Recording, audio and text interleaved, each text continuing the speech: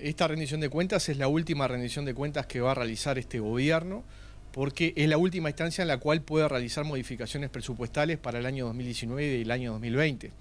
Ya no, no va a tener otra instancia.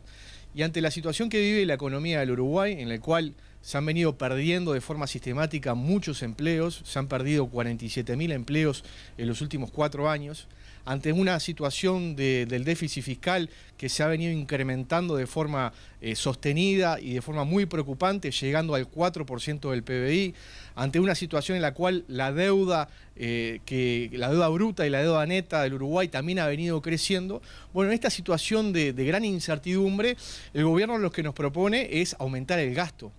Y, yo creo que es una señal muy negativa, porque nosotros creíamos realmente que en esta rendición de cuentas iba a haber algún tipo de mensaje de austeridad. La gente, la gente está solicitando mensajes de austeridad, la gente está solicitando mensajes de contención del gasto que realmente se ha disparado en los últimos años. Y lamentablemente eso no lo trae esta rendición de cuentas. Lo que trae es mayores gastos y esto va a provocar mayores complicaciones al Uruguay de cara al futuro, porque seguramente un próximo gobierno va a tener que tomar medidas de contención y de ajuste, que es algo que obviamente no queremos, pero lamentablemente la situación de irresponsabilidad del gobierno de Frente Amplio es lo que nos va a dejar.